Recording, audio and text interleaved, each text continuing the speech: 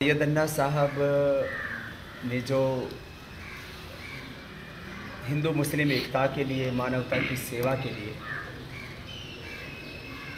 Syed hospital से लेकर के और, तमाम तरह की जो उन्होंने अलग अलग कार्य किए पूरी मानवता की भलाई के लिए मैं तो African countries European countries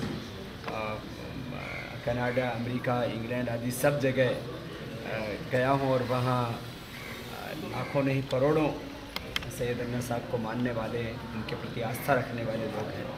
आज उन महापुरुष को अपनी श्रद्धांजलि देने के लिए और उनके संकल्पों को पूरा कर रहे हैं। अभी जो हमारे वर्तमान उनके सुपुत्र, उनको अपनी शुभेच्छाएँ, उनको बधाई और अभिनंदन करने के लिए यहाँ पर आया।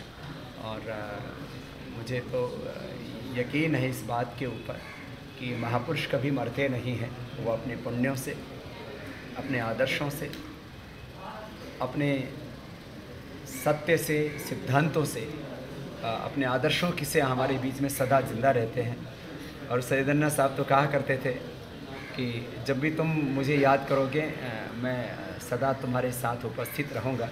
ऐसी महान आत्माएँ संसार में कभी कभी आती है और अपना प्रकाश सदा के लिए छोड़ के जाती है। आध्यात्मिक गुरु डॉक्टर सैयदना मोहम्मद बुरहानुद्दीन जी को श्रद्धांजलि अर्पित करने के बाद युग पुरोधा स्वामी रामदेव जी महाराज वर्ली स्थित जाम्बोरी मैदान पहुँचे।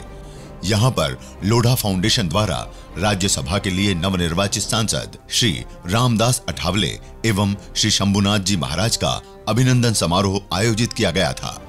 पूज्य स्वामी जी महाराज इस समारोह में मुख्य अतिथि के रूप में उपस्थित हुए। इस समारोह का शुभारंभ शिवाजी महाराज एवं डॉक्टर बाबा साहेब अंबेडकर जी की प्रतिमाओं पर माल्यार्पण से हुआ। इस अवसर पर लोढ़ा फाउंडेशन की ओर से पूज्य स्वामी जी महाराज श्री आठवले एवं श्री शंभुनाथ जी महाराज का विशाल फूल माला से भव्य स्वागत किया गया। रिपब्लिकन पार्टी ऑफ़ इंडिया के कार्यकर्ताओं ने भी पूज्य स्वामी जी महाराज को फूलों के गुलदस्ते भेंट कर स्वामी जी के प्रति अपना सम्मान प्रकट